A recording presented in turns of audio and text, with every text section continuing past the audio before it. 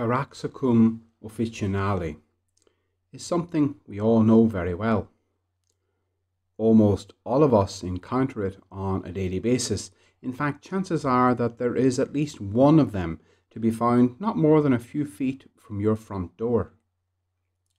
Many don't like Taraxacum officinale. Many spend an inordinate amount of time and effort trying to kill it off, but it just seems to be resilient and resistant to all that you can throw at it. Few appreciate its simple beauty. It goes by many nicknames besides Taraxacum officinale pig's snout, lion's tooth. When I was a child, we simply called them pee the beds, but you probably know it by the name dandelion. This hardy little flower is considered by many to be a weed, and it is the scourge of many a gardener because you get rid of one plant only to have ten more take its place. But far from a weed, this little plant and flower has always had enormous medicinal and health benefits, and apparently it's great in salads. And if you care about the wild bee population, it might be a good idea to let the humble dandelion do its thing, because it is a rich source of vital food for bee, bees and other insects. Jesus' words in the Gospel about the wheat grain dying so that it can give rise to a rich harvest made me think of a particular experience I had with this little plant a few years back while on an eight day silent retreat. Retreats are great moments when we clear the schedule to allow more diligent seeking after God and communicating with Him. I find that often while on retreat, for me, the real breakthrough moments are not necessarily when I'm in the chapel praying, but after a time of prayer when I will go out for a walk in God's great and beautiful nature. During this particular retreat, the focus for me on one particular day was how the priesthood I exercise on a daily basis flows from, is rooted in, and is identified with Christ, the high priest. From a technical theological point of view, there is actually only one priest in our Catholic faith Jesus, the high priest.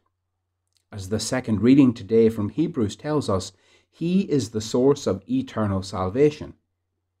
But he is also the source of the priesthood. Each and every Catholic priest exercises the one priesthood of Jesus Christ.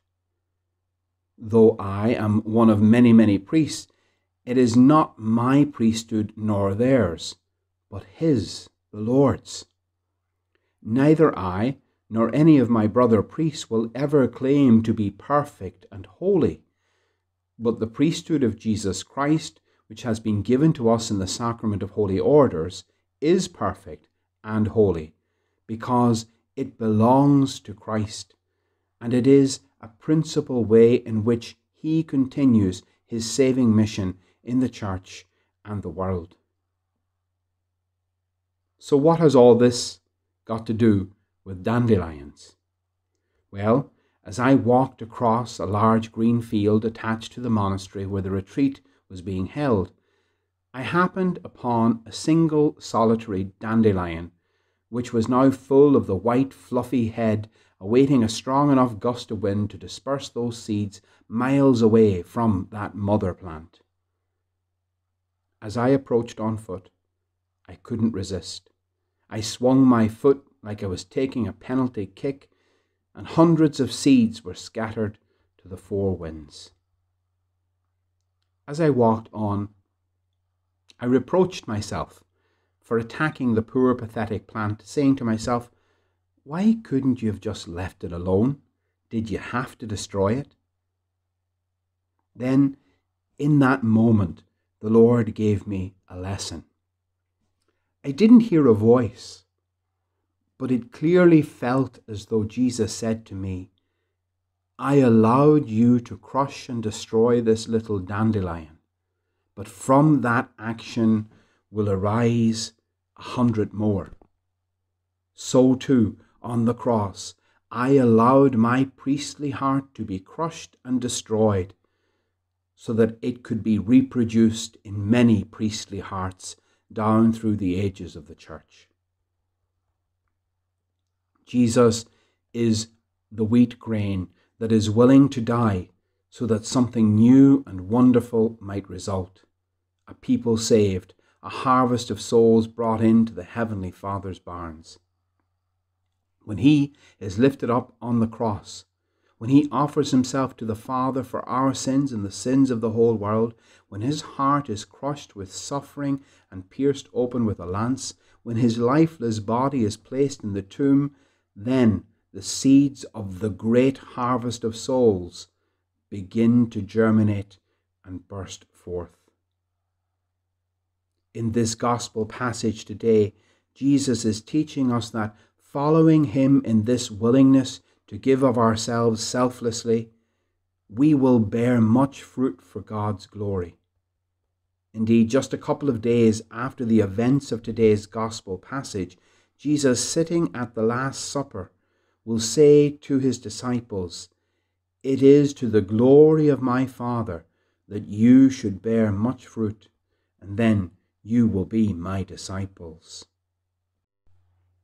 I tell you most solemnly, unless a wheat grain falls on the ground and dies, it remains only a single grain. But if it dies, it yields a rich harvest. My brothers and sisters, we are supposed to yield a rich harvest. We are supposed to be spiritually fruitful. But if we're honest, often we can scarcely seem to have any harvest at all, and we can feel sort of spiritually barren. For me, I know those barren and fruitless times in my life correspond to those times when I have stopped really pursuing Christ, times when I have eased up on my commitment to prayer or have allowed myself to become lax or complacent in my decision to serve and give of myself in imitation of Christ who gave himself up for the good of us all. If a man serves me, he must follow me, says Jesus. And not to put words into his mouth, but Jesus might equally say, if a man wishes to be fruitful, if he wants harvest, if he wants to give God glory in his life and by his life, then he must imitate me. Back during that retreat, a humble dandelion taught me a great lesson about God's plan for my life and his gift to me of Christ's holy priesthood. And yesterday, once again, the simple dandelion, did it again.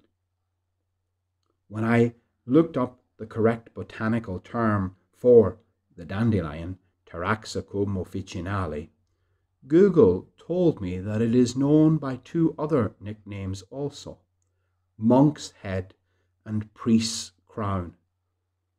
The reason it has these names, given to it since the Middle Ages, is because when the puffy white seed head has been blown asunder, or kicked to the four winds by a passer-by, the remaining part of the flower head resembles the hair tonsure, the bald patch on the top of the head, which priests and monks of that era were given to show that they had given their lives over to the service of God and His holy people.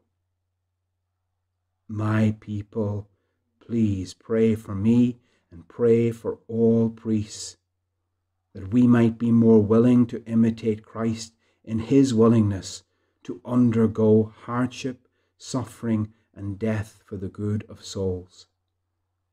Like the dandelion head destroyed, at the end of our lives, may we priests, if we have by our labours, by giving of our best, helped grow the Lord's harvest of souls. O may we be found worthy of a priest's crown. Pray for your priests. And we have been tasked by the Lord to do many things for you. But among those things, we are called to pray for you. So you pray for me, and I will pray for you.